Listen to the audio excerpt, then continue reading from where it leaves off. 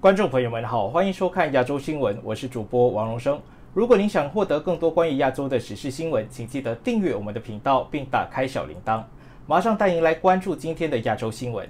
中国打压家庭教会，逃到泰国仍遭对付。德国之声中文网报道，自中国国家领导人习近平上台之后，深圳改革中圣道教会的近六十名教友，过去三年只能颠沛流离的生活着，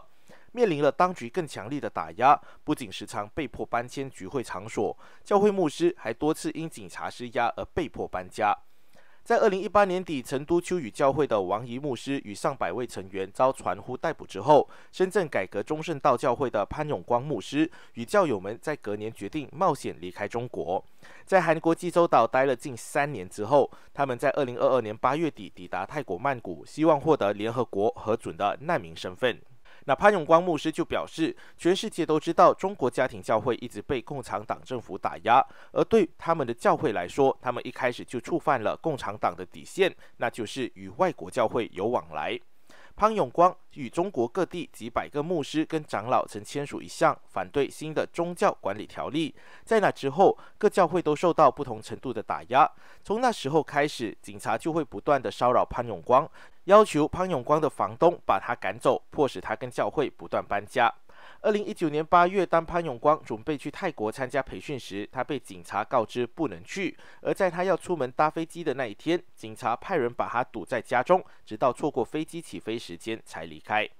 潘永光就说，二零一八年十二月秋雨教会百人被捕事件对他们教会带来很大的震撼。那在下定决心离开中国之后，深圳改革中圣道教会的成员在二零一九年十月至十二月间陆续抵达韩国济州岛。但他们仍不时感受到来自北京的威胁。潘永光就透露，自二零二二年四月起，教会成员与他们在中国国内的亲人陆续收到中国国安局的威胁。潘永光及教友们尝试在韩国申请难民身份，但律师告诉他们，通过率非常低。他们知道在韩国无法得到身份，所以希望到泰国向联合国难民署提出申请，希望获得难民身份。那几经考虑，深圳改革中圣道教会在二零二二年八月底决定冒险前往泰国，希望能透过联合国取得难民身份。只是他们才刚到泰国，潘永光就说便有不明人士开始跟踪他们。潘永光坦言，虽然教会成员对于在泰国可能被监控早有心理准备，但情报人员的行径仍超乎他的想象。他表示，现在他都会担心要不要离开酒店。教会的成年人偶尔会上街买东西，但孩子都不敢出门。他说，在泰国确实面临威胁，这对他们来说也是很大的干扰。除了成都秋雨教会与深圳改革中圣道教会，基督教停教会过去几年在中国面临当局系统性的打压。潘永光就表示，在中共十九大后，北京当局通过立法与政府部门联合对家庭教会进行系统性的打压。而在中共二十大即将来临之际，各界预测中国政府将进一步加强对公民社会各领域的管制。日本明治大学比较法研究所客座研究员潘家伟也坦言，在这样的氛围与环境下，中国的家庭教会与其他成员受到的打压恐会加剧。那事实上，过去几年，泰国传出多起苏商或中国难民遭遣返中国的案例。潘家伟就表示，由于目前泰国政府被军方控制，导致所有在泰国等待的难民安全都难受保障。那根据潘永光透露，目前除了位于美国的非政府组织对华援助协会有协助教会成员申请难民身份之外，美国驻泰国领事馆也积极协助他们。他说，美国众议院议长佩洛西的办公室与美国宗教大使都有针对这件事呼吁联合国协助他们。换个焦点，普京希望习近平驻反西方。世界报报道，普京对习近平的期待，与其说是期待习近平在行动上给予支持，不如说是期待习近平在言辞上给予支持。那自二月二十四日以来，中国一直赞同莫斯科对冲突的解读，也就是说，中国同意冲突的根源是北约在中欧的扩张。然而，虽然北京谴责西方的制裁，但北京并没有违反西方的制裁。中国环球时报九月十四日在一篇社论中就说：“中国从未卷入俄乌冲突，中国一贯主张尊重各国的主权和领土完整。”法国《世界报》的同一篇文章就写到，北京对莫斯科的支持体现在自二月份以来，习近平从来没有与乌克兰总统泽连斯基进行过电话交谈。另外，中国三号人物栗战书本周早些时候在莫斯科为习近平、普京见面做准备时，毫不含糊地说：“我们完全理解俄罗斯为维护其根本利益而采取的一切措施的必要性。我们正在通过协调行动提供帮助。”栗战书还说，在所有国际问题上，中国都支持俄罗斯的国家利益。法国《世界报》的文章还指出，虽然中国在今年上半年增加了对俄罗斯石油和煤炭的采购，二月至六月间增加了近一倍，但中国似乎并没有向莫斯科提供军事援助。中国非常谨慎，并严格遵守对俄罗斯的国际制裁。那特姆尔乌马罗夫预测说，短期内中国公司不大可能会向俄罗斯提供军用技术，但是在未来，中国可能会建立特殊的机制来向俄罗斯提供军用技术。那莫斯科最近不得不求助于伊朗和朝鲜来满足其对军事装备的需要。卡内基国际和平基金会研究员艾文·费根包姆就表示，北京的目标是在战略层面上与莫斯科保持理解，以制衡美国以及西方对中国日益增长的经济压力。但他希望在不必在战术层面支持莫斯科的情况下做到这一点，因为他希望继续能够进入世界市场，避免西方的制裁，并与害怕俄罗斯的中亚国家建立关系。《世界报》刊登的文章就指出，在国际问题上，特别是在乌克兰问题上，中亚国家是很担忧的。中亚国家担心俄罗斯帝国主义实力的崛起。再来，我们关注印尼英语国际联手抗衡中国威胁。那自由亚洲电台报道，中国似乎正在对印尼采取胡萝卜加大棒的战略。虽然由中国央企协助开发，位于印尼婆罗洲的水力发电厂连外道公路已经开始施工，然而在中国“一带一路”倡议在印尼有新进展之际，中国海警船却持续在印尼北纳土纳海骚扰当地渔船，大打灰色战。观察人士就指出，雅加达可能因考量与中国经贸往来密切，现阶段仅透过外交照会等方式与北京沟通南海争议。但印尼不该轻忽中国及海上威胁及“一带一路”扩张霸权的意图，未来应该设法吸引跨国投资及联合东盟，既由国际秩序与整合区域力量抗衡中国威胁。印尼民众上周六在北纳土纳海发现一艘中国海警船在印尼专属经济区内活动，并骚扰印尼小型渔船。消息一出，再次引发外界对中国和印尼在纳土纳群岛海权争议的关注。那有关媒体透露的近期中国海警船在纳土纳群岛骚扰印尼渔船的事件，并非首次。那印尼总统佐科威曾于二零二零年一月罕见发表强烈声明，表示涉及印尼主权没有谈判余地，中印关系因此一度陷入紧张。亚洲时报进一步分析，中国得以持续在印尼的海权争议海域中进行骚扰活动，主要在于雅加达当局对北京政策不明，导致缺乏战略连贯性，无法整合更广泛的外交、军事和经济工具，以全面反击中国侵略。对此，美国华府智库威尔逊中心的亚洲项目研究员帕拉威斯瓦兰表示，很可能连印尼官员也有类似想法。他说：“由于印尼总统佐科威目前仍着眼经济发展，印尼当地官员又对如何应对北京看法不一，因此由现况来看，雅加达只能考虑从别的层面遏制中国威胁，而不是选择正面回击与中国的海事攻防战。”那台湾政治大学东亚所特聘教授杨浩就表示，与其说印尼政府对北京的海上侵略行为没有明确回应，不如说是在考量中国目前强大的政经实力，只能采取宁静外交，也就是以低调做法回应北京，以避免激起过大的政治或外交涟漪。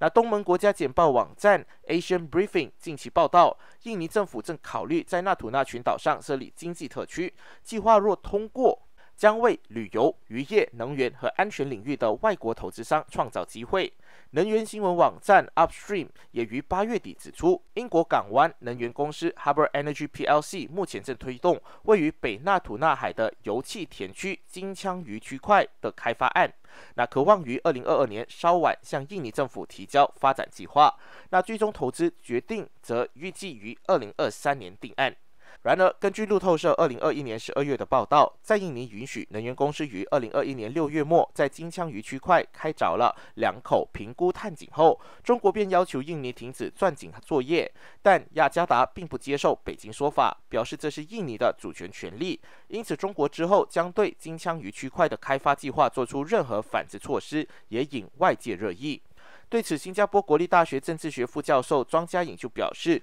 由于中国始终声称金枪鱼区块位于九段线范围内，一定程度的骚扰行径恐难免。但他也提醒，由于向来与中国友好的俄罗斯，其国营能源巨头海外石油公司与港湾能源公司各拥有金枪鱼区块百分之五十的股权，中方行动可能因此有所顾忌，避免损害莫斯科的利益。然而，威尔逊中心的帕拉梅斯瓦兰就示警：若北京不愿放弃伸索南海诸岛及海域主权，无论能源公司的开采进入何种阶段，地缘政治风险都将难以忽视，恐为开发计划投下变数。尽管中国及东南亚部分国家在南海的地缘政治冲突可能升高，不过与此同时，中国的一带一路倡议也持续在东盟推进，其中印尼更是重要的倡议伙伴。对此，威尔逊中心的帕拉梅斯瓦兰表示，尽管中国对东南亚投入“一带一路”建设是经济层面，发动灰色地带行动则与地区安全事务有关，但其实就北京立场而言，两个层面互有影响、相互连接。因此，即便印尼有意深化与中国的经贸合作，也应关注北京是否趁势扩大军事威胁，甚至应该联合东盟，整合区域的对中系统性战略。中国国博决定撤除青铜展争议韩国历史年表。根据韩联社报道，中国国博七月二十六日起举行东方极金中韩日古代青铜器展，至今，那纪念韩中建交三十周年和中日邦交正常化三十周年。韩国国博和日本东京国立博物馆与其联合办展。那韩方提供的历史年表有两条，以高句丽和渤海的建国年份注明两朝起始点，但展览实际展出的年表中这两个朝代不翼而飞，引发争议。针对这一在近日引发韩方不满的事件，报道就指韩国国博周四上午曾向中方表明强硬立场，称中方若不采取纠正措施，韩方将要求立即叫停韩国单元的展览，并提前撤回展品。那韩国国博表示，其中已经两度向中方发送了两封的抗议信件，那并收到中方有关撤除历史年表的回信。报道就称，中方当天还以展览负责人名义发来邮件，表示就在当天撤除该年表。那韩国国博就介绍，中方表示希望韩中两国国家博物馆今后能继续保持友好合作，加强沟通，为增进韩中友谊开展合作。那报道也提及，韩国外交部官员也表示，中方已经通过外交途径向韩国表明将撤除争议历史年表之意。据悉，韩国政府为妥善解决此事，那确保类似事件不再发生，决定增进两国国家博物馆之间的沟通。伊朗加入上合组织，望突破经济孤立。伊朗外长阿卜杜拉希扬周四宣布，伊朗正式签署协议，加入上海合作组织，成为该组织的永久性成员。这是德黑兰试图突破因西方制裁而导致的经济孤立而取得的一项进展。那阿卜杜拉希扬就表示，伊朗现在进入了各种经济、商务、运输和能源合作活动的新阶段。上合组织去年批准了伊朗的入会申请。伊朗政府呼吁这个组织的成员帮助伊朗形成一种可以避开西方制裁的机制。那西方制裁伊朗的主要原因是因为伊朗的核项目有迹象显示，伊朗有可能正在利用它的核项目发展核武器。伊朗总统莱西周四在乌兹别克斯坦萨马尔罕参加上合组织峰会。伊朗媒体报道就说，莱西可能在这次会议期间会见俄罗斯总统普京。那英国卫报也说，该组织还在发展中，白俄罗斯即将正式签署入会文件，卡达尔和沙特阿拉伯也可能会加入这个组织。路透社引用上合组织副秘书长格里高利洛克维诺夫的话说：“那伊朗现在就可以参加该组织的各种会议，但是伊朗要成为该组织的正式成员还需要一段时间。”有报道就说，伊朗的正式成员资格将在二零二三年的四月生效。富士康在印度砸巨资生产芯片。台湾电子巨头富士康和印度矿业及制造业集团维丹塔达成总额一百九十四亿美元的协议，在印度合作生产半导体。全球芯片短缺之际，新德里致力于推进科技之力。去年十二月，印度批准了一项一百亿美元规模激励计划，由政府支付所有项目成本的一半，以重振国内产业。那日前宣布达成的协议，是印方迄今为止最雄心勃勃的投资。根据所达成的交易，双方将在莫迪总理的家乡古吉拉特邦共建共赢一制造综合体。那根据所达成的协议，维丹塔将在合资企业中占有百分之六十的股份，这是他进入芯片制造领域的第一步。世界顶级的苹果手机组装商富士康占百分之四十的股份。两家公司就表示，制造综合体将于二零二四年投资，产品中还将包括手机和平板电脑显示屏。公告发布的隔日，维丹塔股票在孟买股市上涨了百分之六。